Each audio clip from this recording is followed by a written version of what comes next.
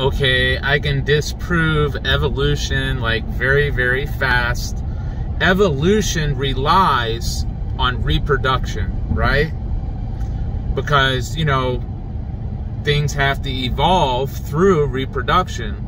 And the problem with this evolution is reproduction because the first living cell had to reproduce itself and it had to have a full reproduction system of itself from nothing.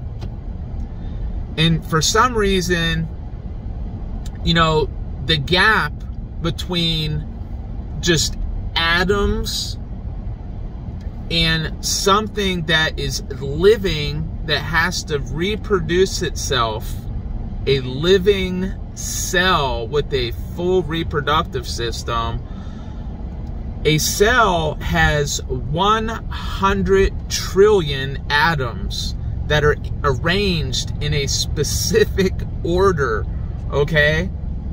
Now, that would be 100 trillion to the power of 10. It would be like having a lottery with 100 trillion digits.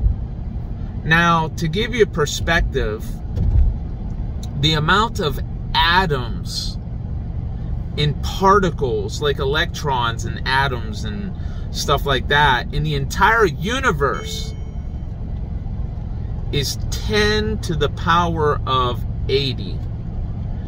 The amount of seconds from now all the way back to the Big Bang is 10 to the 90th power. That's like 10 with 90 zeros.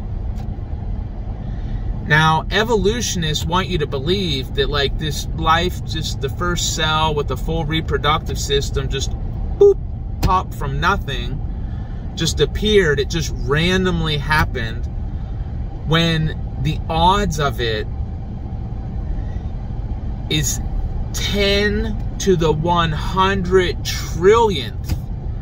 That's 10 with a hundred trillion zeros after it. The chance of that, like, I, you, like, like it's like impossible like, you don't have enough universes and stuff. Like, why can't people just accept that there's a God? I mean, like, spirits are blatantly obvious in people and in groups of people. Like, it's like spirits are just blatantly obvious. Like, some people have a Holy Spirit, some people have evil spirit, and you could see it, even though it's non physical. But that disproves evolution right there. Reproduction is the main, like, the main problem because that's what that's what evolution relies on. Reproduction and ironically it is the main problem to evolution